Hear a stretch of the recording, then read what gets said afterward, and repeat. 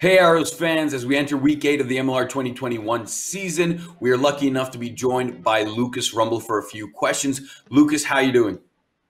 I'm good, man. Thanks for having me on. No, it's it's a true pleasure. And so let's get right into it. As we said, we're entering week eight of the MLR 2021 season. How have you guys felt about the season so far as a team? Uh, you know, we've had our ups and downs this year so far. I, I think that was expected. Uh, you know, with uprooting your life and, and moving it to a different country. Um, but you know, we have been trending in the right directions the past few weeks, and hopefully we can keep getting more consistent and uh, just put more quality out there throughout the full 80 minutes instead of taking lapses here or there. And I, I think we'll we'll put together the right uh, you know recipe to make that happen this weekend. Hundred percent, and I mean, you look at some of the games like Seattle and Rugby United New York. You guys are definitely getting your groove now. Um, playing away is never easy, and you guys have been doing that all season. How have you guys as a team coped? But more importantly, as a captain, how do you keep the team motivated? Uh, it's obviously different than you know being at home, where you can go home, speak to a significant other, family, friends. You have all those things to take rugby off your mind and take you away from the environment, and that's a good thing sometimes to be out of the environment. Here in Atlanta, we're all we're all together. We're all you know in each other's face a lot. And you see everyone in there, coaches, staff, players, in the elevator on the way to and from your room when it's not even a rugby day.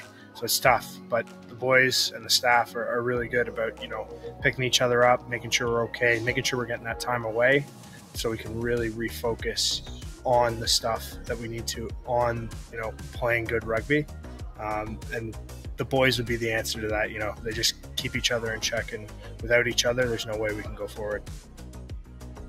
Yeah, and, and it seems like the chemistry is not only strong, you know, off the field, but uh, on the field as well. Now we're going to get into some fun questions here, Lucas. Now, every player has a dream play, right? Whether it's a big tackle, um, a game winning try.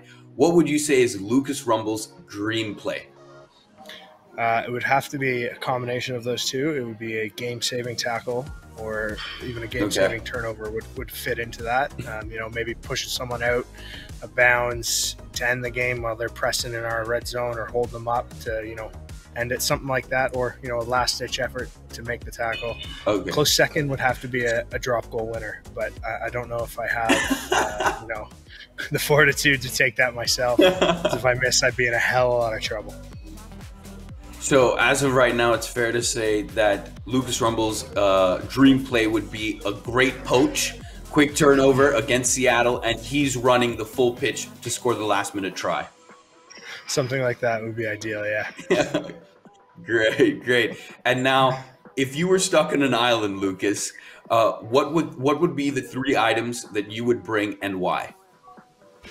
Um, so the first item I would bring would be whatever Ben's bookshelf. It's uh, you know Ben Lesage has a book uh, reviewing Instagram page. Whatever his latest book is, you know he's, he's he's on top of it. He knows his stuff, so that would get me through a lot of those dull moments. Uh, secondly, would be some sort of fire starting system, whether it's a flint and steel or you know something to give me that ability to start fires. And the third would be some sort of machete, something to cut down trees, you know, open coconuts, or do whatever I need to do to survive. That's that's our captain right there. Always useful. Thank you so much, Lucas, for joining us. We wish you the best of luck against Rugby Atlanta this weekend. Thank you so much for joining us. Thanks for having me.